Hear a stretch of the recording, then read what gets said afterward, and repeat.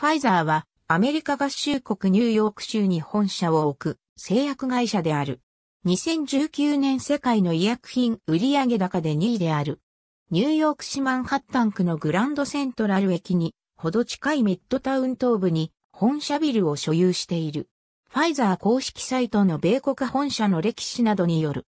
研究開発費に毎年9000億円近く使われているが、ファイザー本体からの新薬は1998年のバイアグラ以来登場しておらず、2006年には超大型新薬になると期待されたトルセトラピブの臨床試験も失敗した。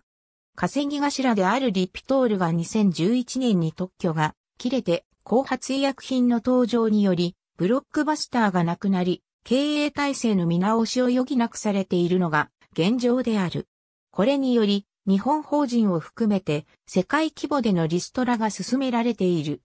1996年、ナイジェリアのカノにおける臨床試験で髄膜炎の治療に同社の薬剤トロバンが使用され、200人の子供が身体障害を受け、11人が死亡した。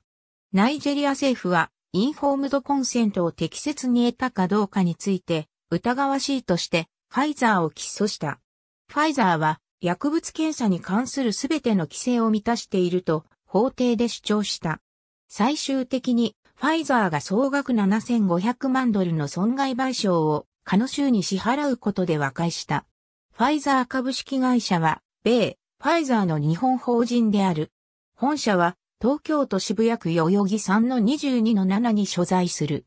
ファイザー公式サイトの日本法人の歴史などによる、バイアグラ 50mg 広報資料、プレスリリースなど一時資料。ありがとうございます。